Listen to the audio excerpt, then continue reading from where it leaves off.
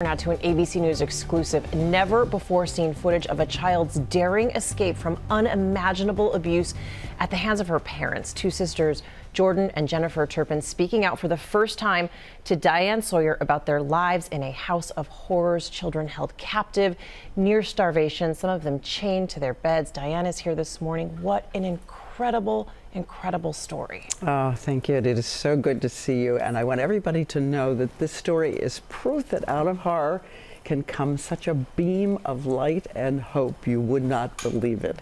Now, the girl you're going to hear is 17 years old. She sounds much younger, but she knows she has one chance to get out and save her 12 siblings. And when she slips out the window, you have to remember that she has never talked to a stranger. She doesn't know about street signs. She doesn't know her house address. She doesn't know where she is. She's just going on faith and terror that is equaled only by her courage. This is 911. Do you have an emergency? Um, I just ran away from home. Do you know what street you're on? Um, no. Uh, I just ran away from home because I live in a family of 15. Okay? Can you hear me? And we have abusing parents. Did you hear that?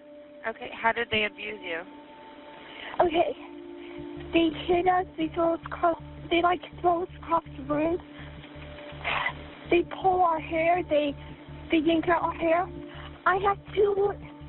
My two little sisters right now are chained up. Okay. How old are you? I'm 17. What's your name? Jordan Turpin. Okay. I'm going to connect you to the sheriff's department so that they can help. What? One moment. Don't hang up. I want. A second dispatcher picks up. Hello? Oh, yes, I'm still here. Nearly four years later, this is Jordan Turpin remembering that night. My whole body was shaking, and when I was holding the phone, I remember the phone was sh- like, I couldn't really dial 911 because. I'm sorry. Shaking too much? Yeah, I was shaking, and so I was trying like to to dial 911, but I couldn't even get my my thumb to press the buttons because I was shaking so bad.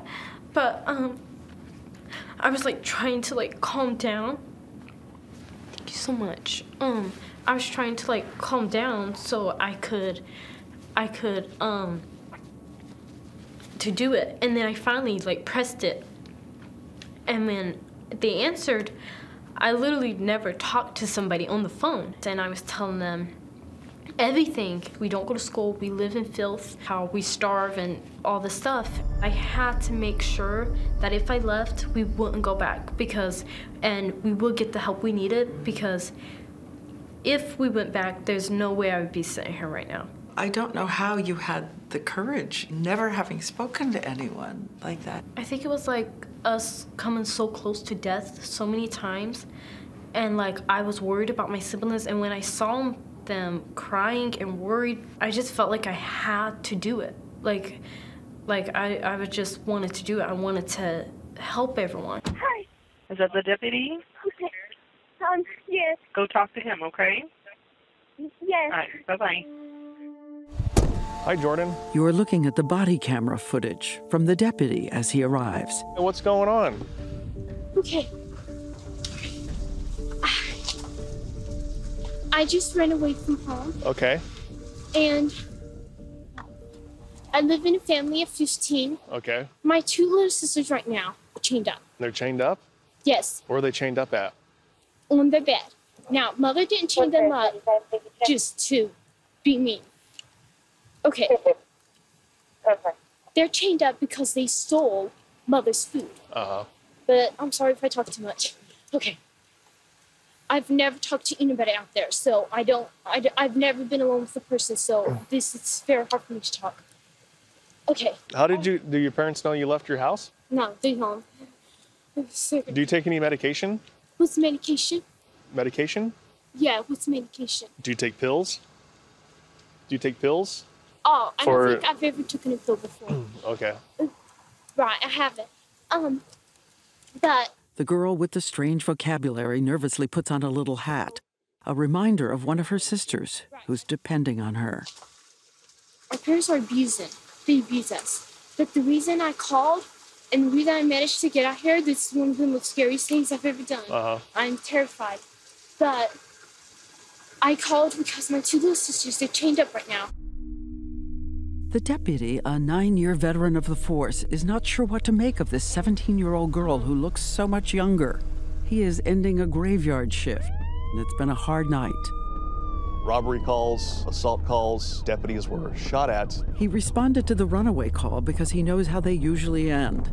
You take the kids back home to reconcile with their parents. I decided to take it, uh, thinking, hey, it just, this might be a good way just to end my shift. And then, on instinct, he asks a question. Do you have pictures of that? Yes, I can show you. I actually didn't have it, and then one of my sisters told me I need to get pictures.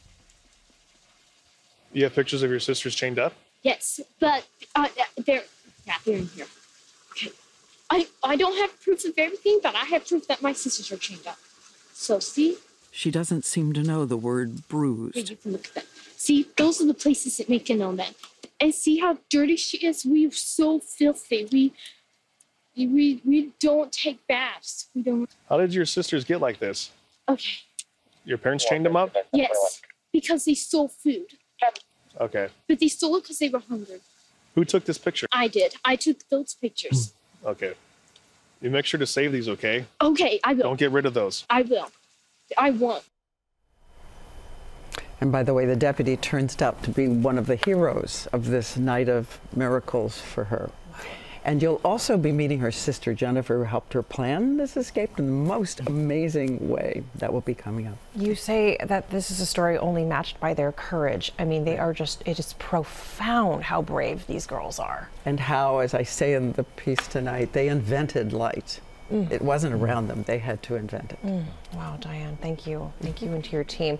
Escape from a House of Horror, a Diane Sawyer special event airs tonight on 2020 at 9 p.m. Eastern, right here on ABC, and of course, then streaming on Hulu. What an unforgettable story. Just incredible. Thank you. Well, hey there, GMA fans. Robin Roberts here. Thanks for checking out our YouTube channel. Lots of great stuff here. So go on, click the subscribe button right over right over here to get more of awesome videos and content from GMA every day, anytime. We thank you for watching, and we'll see you in the morning on GMA.